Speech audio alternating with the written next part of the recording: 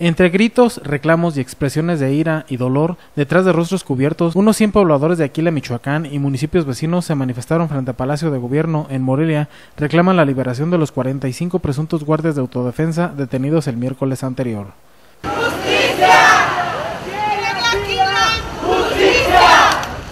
Desde el obelisco a Lázaro Cárdenas, los familiares de presos en Veracruz y Morelia arribaron a Palacio de Gobierno, donde esperaban ser recibidos por el secretario de Gobierno.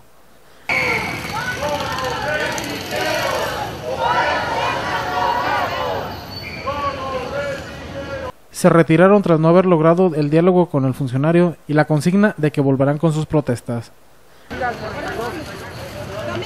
no nos recibieron, ya nos vamos. Como no nos recibieron, ya nos vamos.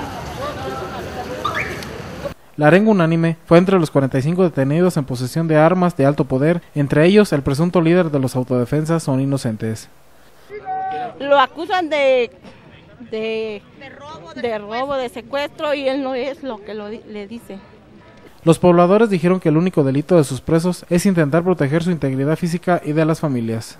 Le tienen odio porque sabe defenderse y no se supo vender, señor. ¿Eh? Y por eso nos trataron mal y nuestros hijos se los llevaron. señora, sin tener ningún delito. Los han Nomás porque estamos defendiendo nuestros derechos. Por eso, no de uno. Reclamos en la Ciudad de México no pudieron hablar con los detenidos la mayoría de los familiares de los manifestantes. Con información de Fátima Paz, informa Cuasar TV.